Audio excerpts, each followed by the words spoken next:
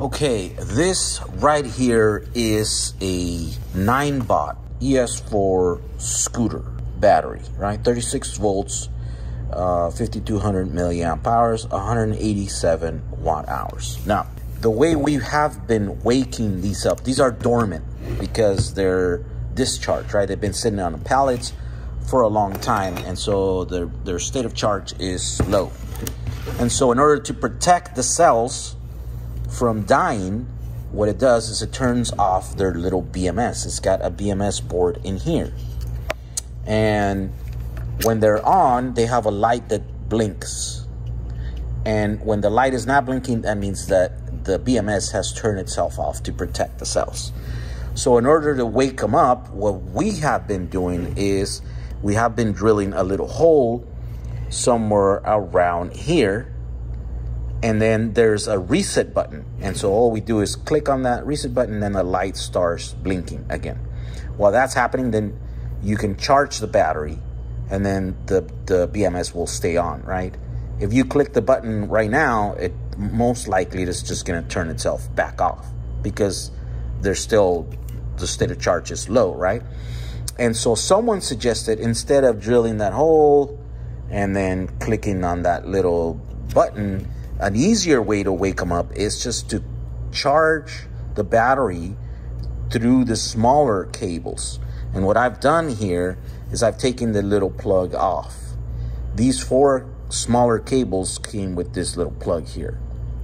I've cut that plug and then I've installed an XT30 connector just like the one that's over here. And I'm gonna apply a charger in here and see if that wakes up the battery. So let's try that now.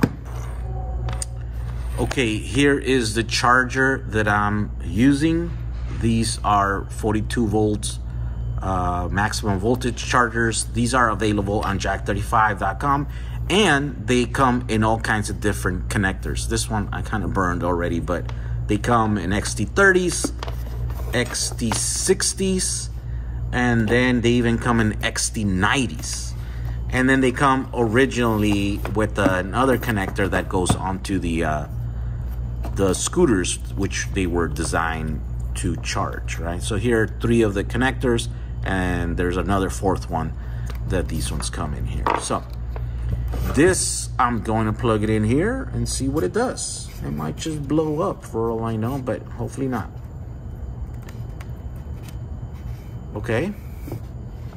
So the light did go red. And then look at that. So it is an easier way to wake up these batteries.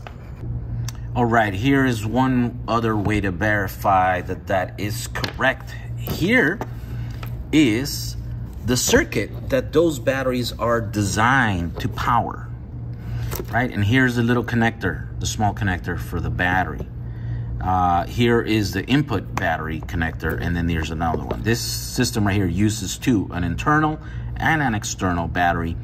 But those batteries, I think they're electrically the same. It's just physically they look different, right? Uh, one goes inside of the thing and the other one goes on the outside of the of the scooter.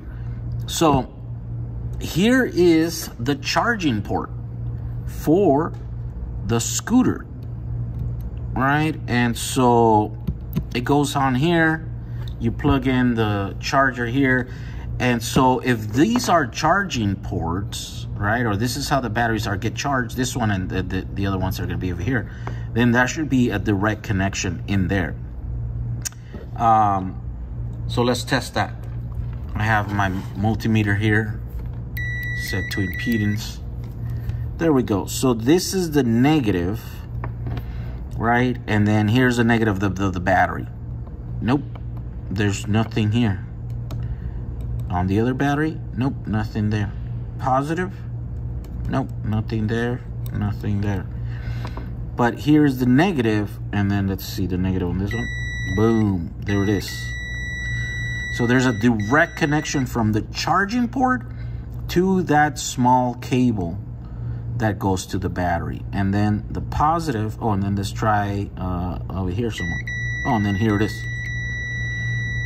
So this is the negative, negative, negative. So these three pins are connected together. How about the positive? Yep, there it is. This should be the positive. So there you go. Uh, this seems to be the charging ports for these batteries. Uh, is the small uh, red and black connectors for both of these models of batteries.